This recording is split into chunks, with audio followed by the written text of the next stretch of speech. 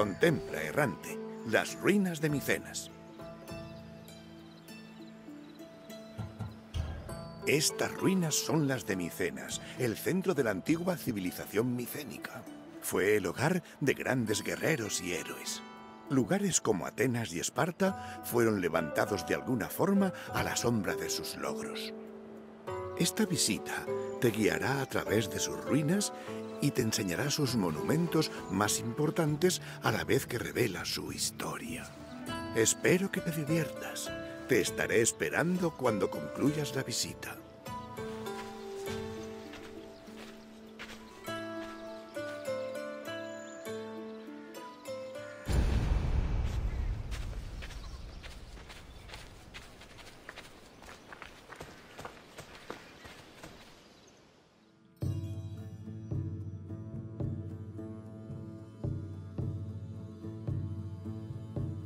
La civilización micénica floreció a finales de la Edad del Bronce, entre el 1600 y el 1200 a.C. Durante este periodo se localizó principalmente en el Peloponeso y en la Grecia central. Sabemos que los micénicos exploraban tierras lejanas. Célebre fue la batalla contra la ciudad aliada de los hititas Bilusa, hito que sirvió de inspiración a Homero, dicen, para su guerra de Troya. Pero los micénicos no solo viajaban para guerrear. Aprendieron mucho de sus vecinos minoicos de Creta, como por ejemplo la escritura silábica sobre tablillas de barro. Estas tablillas demuestran que los micénicos hablaban una forma arcaica de griego.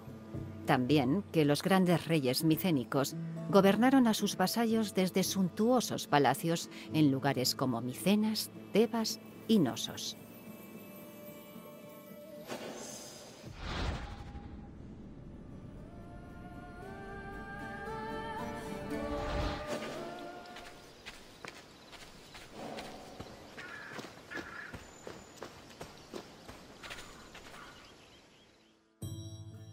La Puerta de los Leones, entrada a la ciudadela de Agamenón, es uno de los monumentos más célebres de Micenas. Es impresionante, tanto por su altura como por un intimidante relieve que representa a dos leones que se yerguen a ambos lados de una columna. Por desgracia, las cabezas de los leones, que estaban hechas seguramente de un metal precioso o de piedra de mayor calidad, se han perdido. La función más probable de la puerta era recibir al rey triunfante tras una exitosa campaña militar e intimidar a los visitantes extranjeros.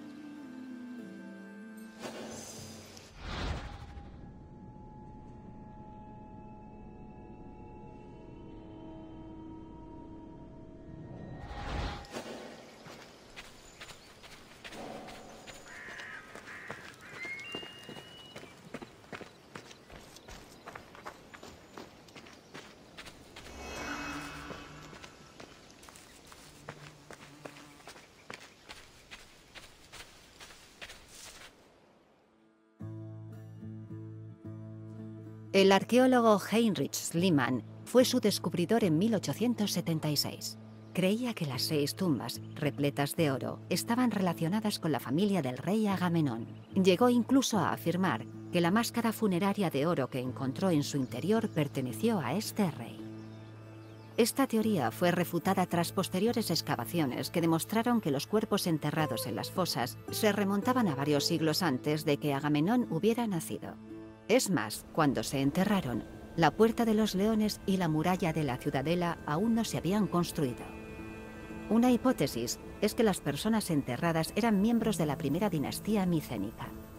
Las tumbas acabaron siendo un lugar de culto para los reyes micénicos que las protegieron con murallas. Estas murallas ayudaron a conservar objetos increíbles como joyas femeninas, máscaras funerarias y armas de factura magistral. Thank you.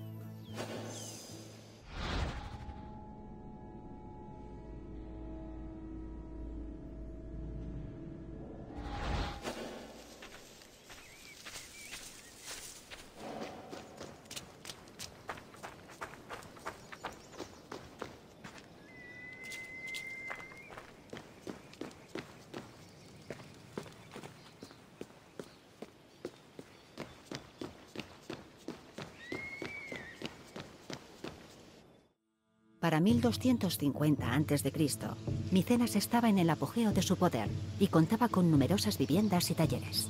Había casas por doquier, desde lo alto de la colina del palacio junto a la residencia del rey hasta las laderas y terrazas intramuros, pero también en el exterior de la ciudadela. Llegó un momento en que hubo que ampliar las murallas para hacer sitio a más viviendas. La gente cuya residencia estaba dentro de la ciudadela era la de mayor estatus en el ámbito militar, religioso o administrativo del reino. Esto se reflejaba tanto en las cerámicas y recipientes metálicos encontrados en sus casas como en sus frescos.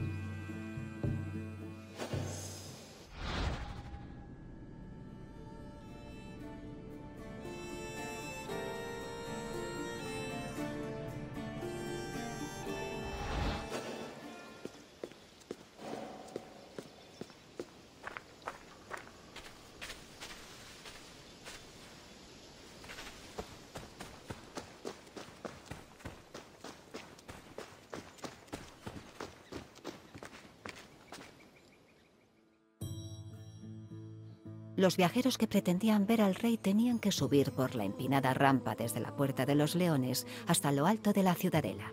Una vez allí, pasaban al complejo palaciego a través del propileo, una espectacular entrada. Ya dentro, su mirada se vería atraída de inmediato por el salón principal, una zona monumental llamada Megaron. En este megaron profusamente decorado y que en su auge refulgía repleto de objetos preciosos y frescos coloridos, es donde el rey habría recibido a los viajeros.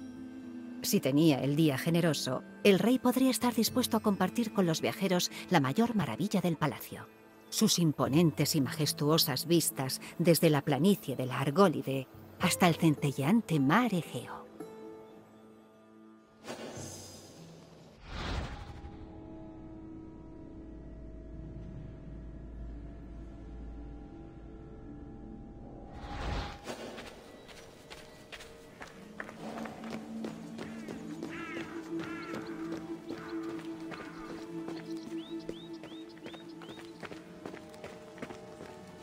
Es en este palacio donde habría tenido su corte el legendario rey micénico Agamenón. Según Homero y otros poetas, Agamenón lideró a los griegos en el saqueo de Troya. Las historias cuentan que era un temible guerrero a la altura de Aquiles, pero también un arrogante y ambicioso líder.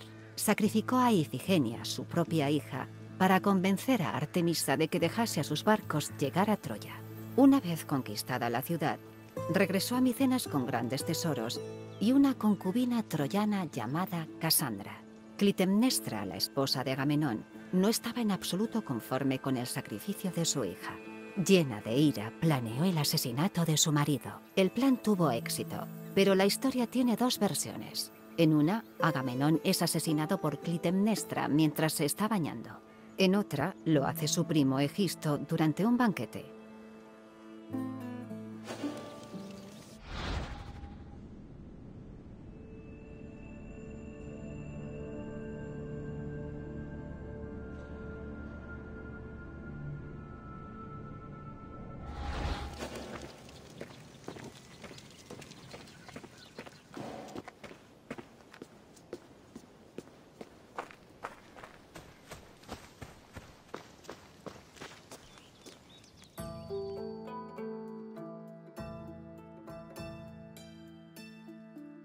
Ya has completado la visita.